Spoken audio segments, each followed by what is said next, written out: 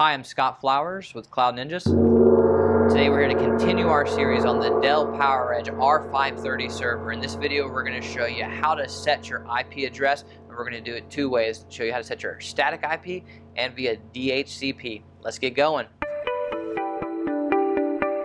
Well, hey, thanks for stopping by today to learn a little bit more about the Dell PowerEdge R530 server. Do us a favor if you find anything in this video useful, click that like and smash that subscribe. All right, so what this video is going to cover is how to set your IP address, and we're going to show you two ways or two methods. We're going to do uh, static IP and we're going to do DHCP. Let's get going. Alright, we're going to show you how to set the IP address on your Dell PowerEdge R530 server. You will need a NIC or a network card and an active network connection. And there's two different options for setting your IP address and we're going to show you both options. Uh, the first one that we're going to show you is uh, via DHCP and this is automatically going to pull your IP address. And then the second option that we're going to show you is the static IP which you will have to set manually. Alright, so let's start with the DHCP option. So what we're going to need to do is to get into our lifecycle controller and this will be um, you know pretty simple. When you are on your boot screen you're just going to click F10 and when you click F10 that's going to take you into your lifecycle controller. It will take a little bit of time for it to uh, to pull up so you know give it a minute. When you get in you're going to go to settings which will be on the left side and you're going to click settings after you click settings it's going to pop up with two options. You're going to want to click Network Settings. After you click Network Settings, you're going to need to select the network port that your Cat5 cable is plugged into. Uh, in this case, it's the uh, Broadcom Extreme for us.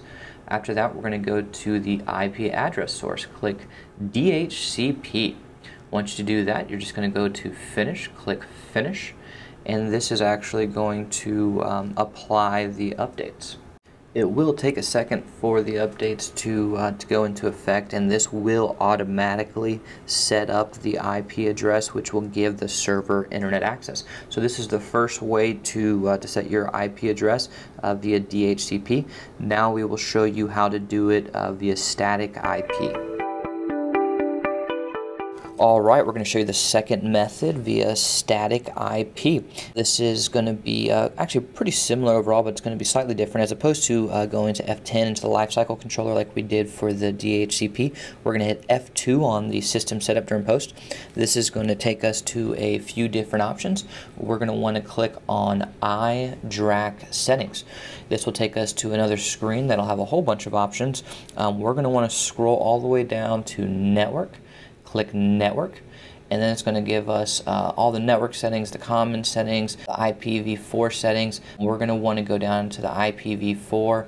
Um, we're going to go to enable DHCP and actually change it to disabled. Once you do that, you can manually type in the uh, static IP address and the static gateway.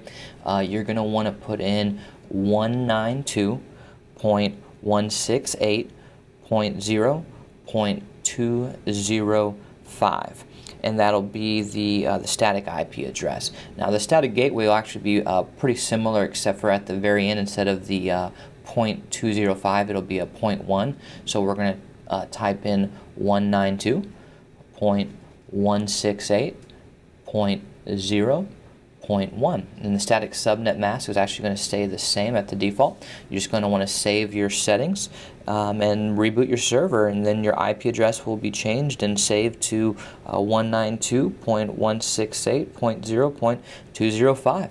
Well, hey, thanks for stopping by to learn a little bit more how to update the IP addresses for your R530 server. Do us a favor if you are looking to buy any R530s or any other servers for that matter, we would love the opportunity to earn your business. Please email us at sales at cloudninja.com. That's sales at cloudninja.com. And hey, if you made it this far, click that like, smash that subscribe. Thanks for stopping by, guys. Take care.